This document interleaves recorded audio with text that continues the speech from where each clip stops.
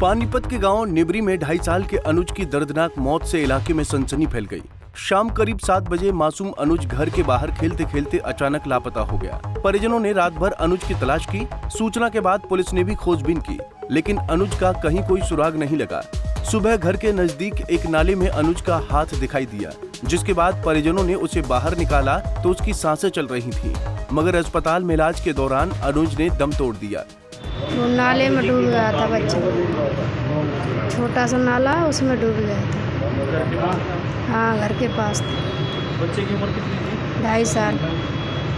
कब हुआ ये? सुबह शाम शाम सात बजे। तो उसके बाद आपने कहीं तलाश उनको? बहुत तलाश की कहीं नहीं मिला। शिकायत भी दी थी पुलिस में हाँ हाँ पुलिस में भी दर्ज की तो पुलिस ने क्या कहा? पुलिस में भी बहुत ढूंढा उसे भी नहीं मिला। फिर कैसे मिला ये?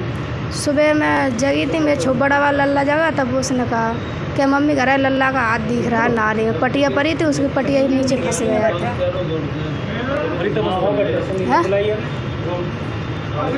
मरी चुका हम जब यहाँ को लाए तो तो ज़िंदा था फिर जहाँ रास्ता में ख़त्म हो गया। अच्छा वहाँ पे ज़िंदा था सुबह तक। हाँ। तो रास्ते में ही मौत हो गई हाँ रास्ते में मौत हो गई क्या लगता है अपने आप वो नाली में गिरा या कैसे क्या लगता है आपको? अपने आप से ही गिरा होगा और कौन डालता क्या नाम था बच्चे का? अनुज।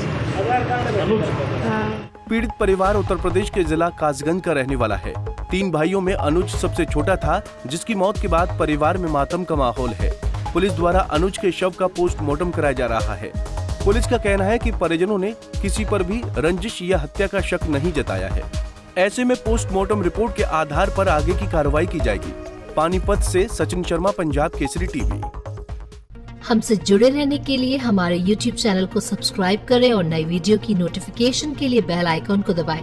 अगर आप ये वीडियो Facebook पर देख रहे हैं तो लाइक ज़रूर करें और ज़्यादा से ज़्यादा शेयर करें। धन्यवाद।